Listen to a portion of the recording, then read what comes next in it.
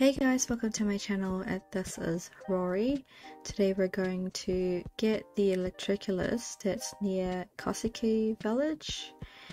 In Teyvat map, we have to find Fujiwara Toshiko first. So from Statue of the Seven, go all the way down to the house.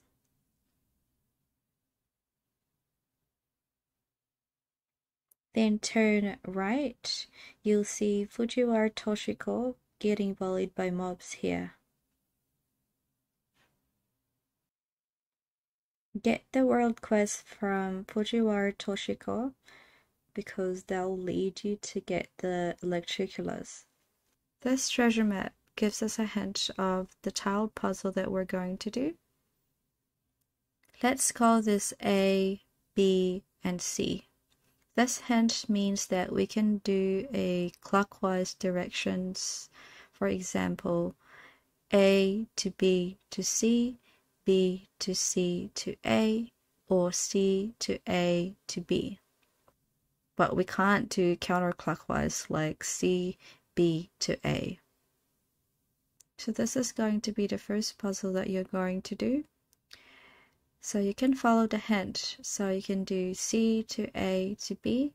That's acceptable because it's going clockwise.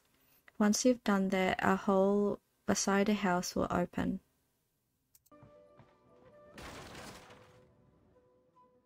So go down to this hole and you'll be able to see your electroculus here.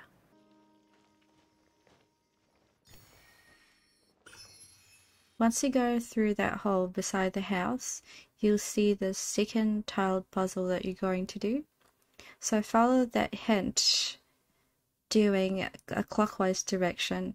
So you go to A, B, C, A, B, C, A, B, C, A, B, C. Once you've done that, you will open up another puzzle. This will be the third puzzle that you're going to do. So follow the hint going clockwise. So from A, B, C, A, B, C, A, B, C, A, B, C. So those are just the key things for this puzzle. Thanks guys.